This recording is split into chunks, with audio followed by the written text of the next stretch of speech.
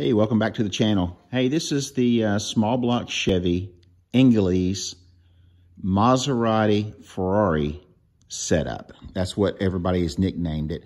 This is a pretty rare unit. Back in the 80s, Jim Inglese of Inglese Performance Injection built about 10 of these. I think they cast 20 intakes and they machined 10.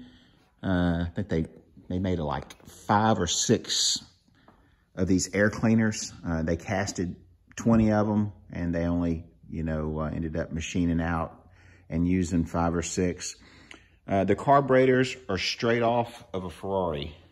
Uh, DCNF Webers, uh, 50 cc's. Uh, I've had a lot of questions about this over the years and seeing how I had a mishap with the motor and had to put another set of heads on it, uh, I decided to go ahead and do some videoing of this. Uh, get a lot of questions about the carbs, uh, about the intake. It is basically got four Webers on it. And then Jim casted these uh, very, very rare. Uh, I don't know who's hiding them all. He says he did somewhere around five, five to 10 of these distributor mounts. I've got one, he's got one, and there's still some floating around out there. Small block Chevy distributor.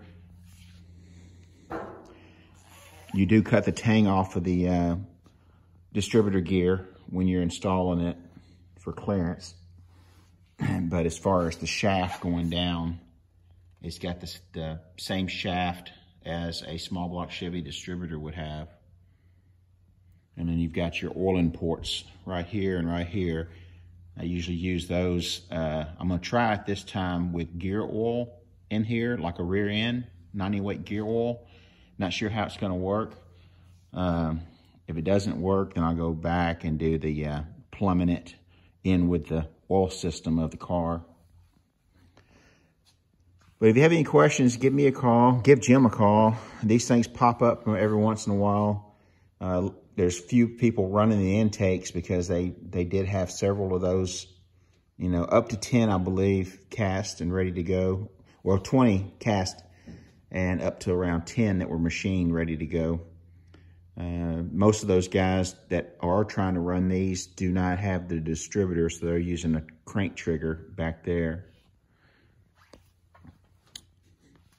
But, you know, it's neat. Uh, it's like injection, mechanical injection, you know, having this set up. A lot of folks don't like Webers, you know, but hey, we're going to try this thing out, see what it does, and I'll get some more photos and I'll add to uh, the information that I'm providing you now.